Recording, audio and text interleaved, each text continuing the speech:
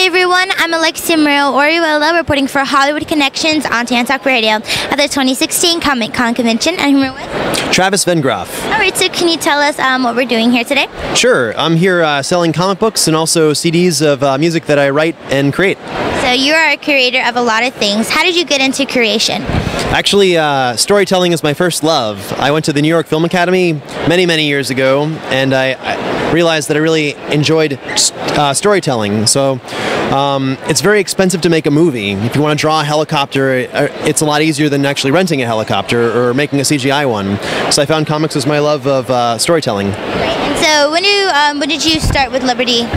Actually, about 10 years ago, I, I, had this idea for a world, and over the last 10 years, I've been writing and developing it to make it a lot more detailed. And uh, in the last three years, I've started making the comic book. Actually, uh, I found an artist and creating these pages. I'm really proud of. That's wonderful. And so, what is mostly your comics about? Do you have one certain character, or do you do different kind of comics? Actually, I have a bunch of different stories set in the same universe. Uh, the best two sentence description is a military state is keeping us safe from gangs beyond its walls. And uh, in my different stories, you understand that these gangs might not be as bad as the propaganda uh, is telling us they are. And how did you come up with that idea? Have you had other ideas and that was probably your favorite? Like, how did that come, like, discovered and written out?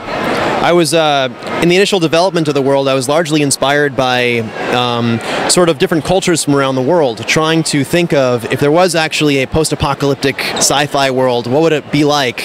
How would it be real and very human? So I looked to my own community, to communities beyond in all the different countries uh, that I've traveled to, and also uh, did a bunch of research on places I haven't been to, and what uh, poverty and resource scarcity does um, to different communities around the world. Oh wow!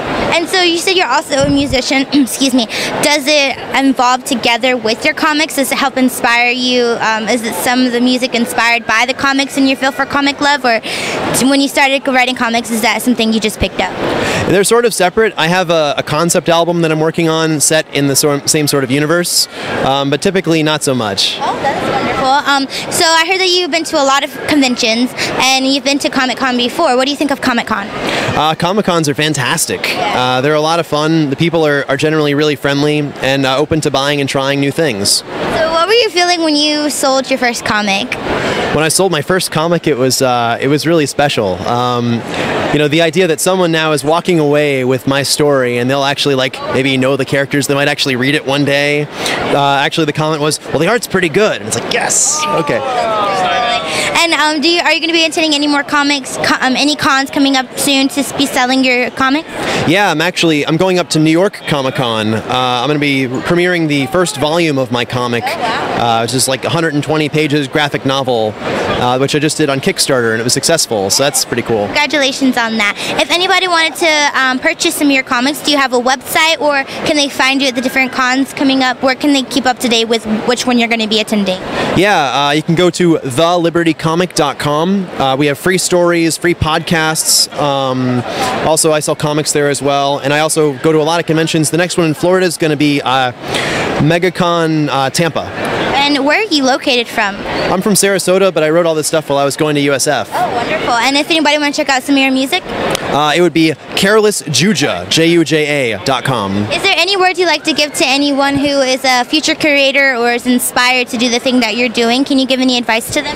Absolutely. Just do it and make as many mistakes as you can and uh, power through it and learn from those mistakes. I've, I've made many mistakes in all my different creations and I've, I've learned from them, but by actually doing what I love, I've gotten a lot better at it than I was originally. That's wonderful. Well, thank you so much for your time, and your comics are really cool. You guys should, um, we'll get a little pan of your table and we'll show it off. It was nice meeting you. Thank you for your interview. Pleasure, thank you. Thank you guys, and stay tuned for more from Comic Con. Please go find him. Please find him